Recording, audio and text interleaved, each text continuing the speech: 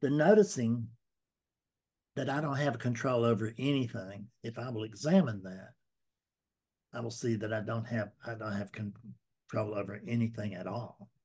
If I find that I don't have control about something, I can find out I don't have any control about anything. And the, and there's not even an I here to say that. Can't be Mhm. controlled because there's no duality. This as it is, right? So Mhm.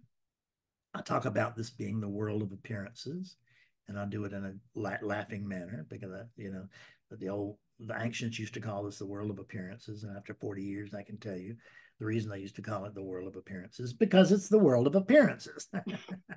a group of very very big headed um, physicists who were postulating that this is a this whole thing, the whole universe is a is a grand hologram.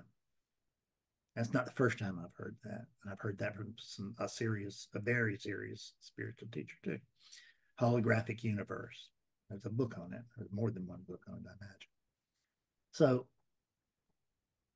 we take so seriously that wit that that which is not.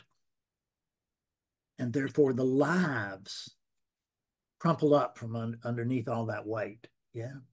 Mhm. it's, it's just uh, uh, and then awakening.